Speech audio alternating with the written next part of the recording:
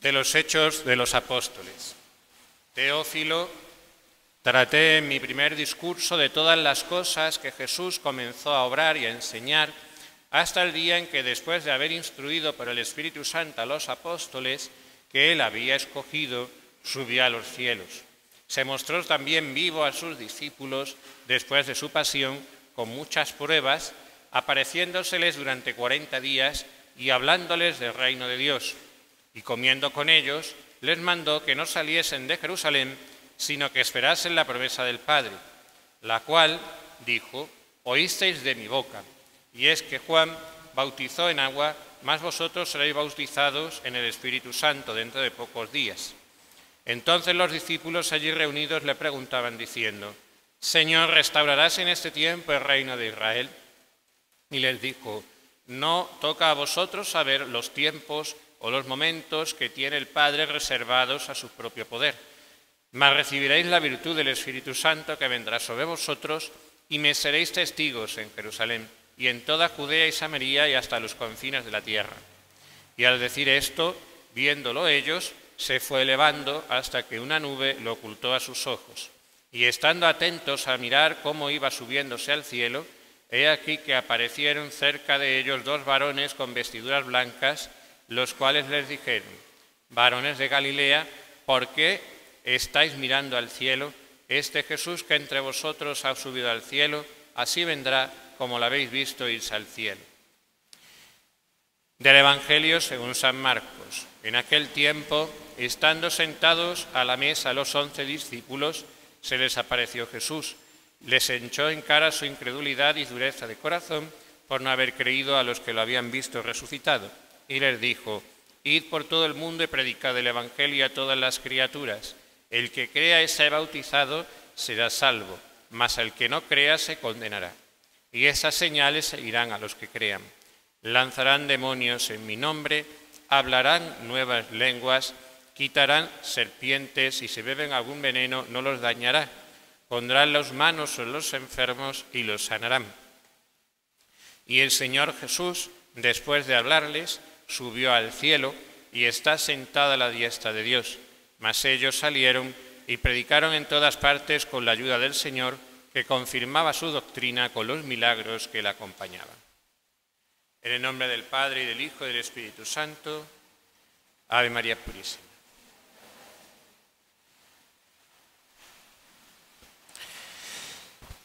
Celebramos hoy esta fiesta tan hermosa de la ascensión de nuestro Señor, en la cual, 40 días después de su resurrección, el Señor, después de haber estado durante todo ese tiempo apareciéndose a mucha gente con su verdadero cuerpo resucitado y enseñando, dándoles muchas instrucciones a sus discípulos, de tal manera que de esas distintas operaciones, apariciones, perdón, van a servir como prueba para muchos de que realmente resucitó.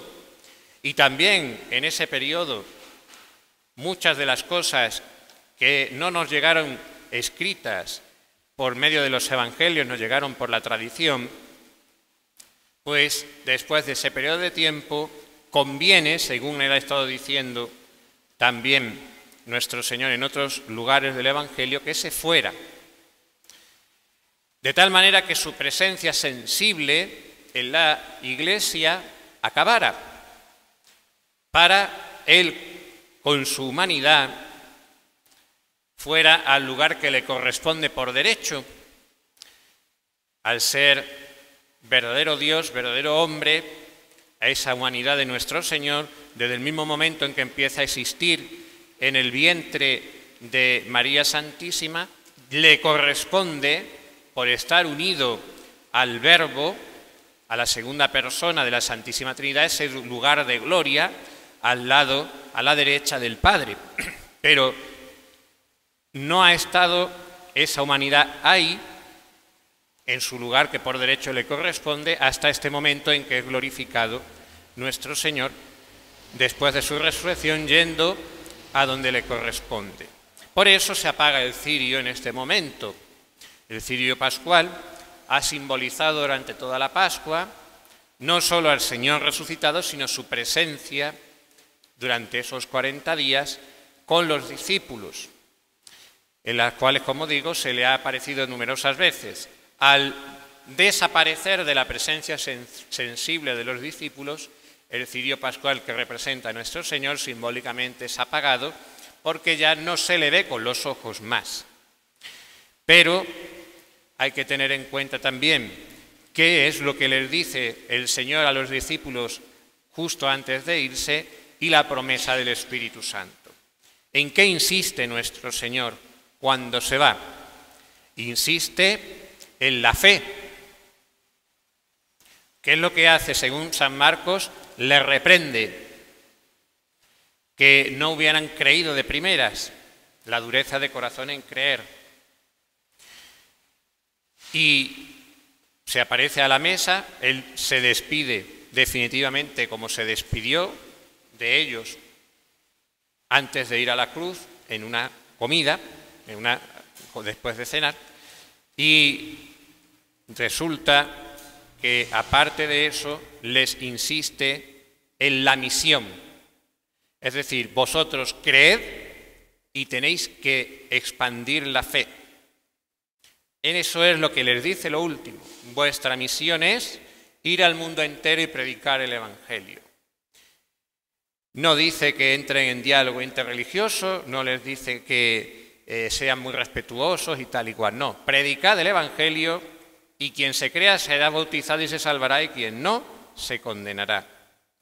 Y además le dice las señales que siguen a los que creen que si bien se dan también literalmente la expulsión de demonios, hablar lenguas de tal manera que podían comunicarse con otros a los cuales de otra manera no podrían hablarles porque no, les, no conocían su idioma, eso ocurre en Pentecostés, y también lo de beber veneno todo eso, y de sanar a los enfermos imponiendo las manos, todo eso literalmente se da, pero también eh, de una manera más espiritual también se da, porque también el no ser afectado por ningún veneno y, el curar los enfermos y quitar, y quitar las serpientes en un sentido más elevado es también ser inmune al veneno de la mentira, ser inmune a las maledicencias y a todos los males que traman los enemigos de Dios y también la fuerza de la predicación que expulsa las fuerzas del mal y las fuerzas de la mentira.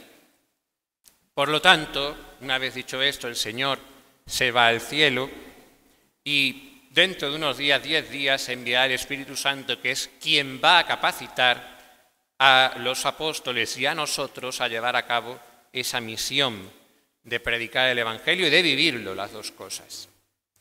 Pues en este día de la ascensión pongamos nosotros también la mirada en nuestro Señor, en el cielo, y no olvidemos que allí Él nos prepara el sitio, que al entrar su humanidad en el cielo, Él primero que nadie abre el camino a todos los demás seres humanos para que podamos alcanzar un día el cielo y estar con Él también después de la resurrección en el último día, en cuerpo y alma con Él en el cielo.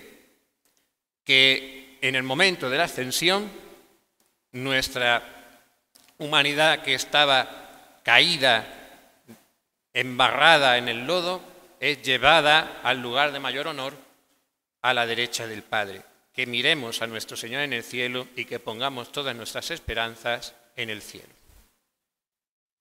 En el nombre del Padre, y del Hijo, y del Espíritu Santo.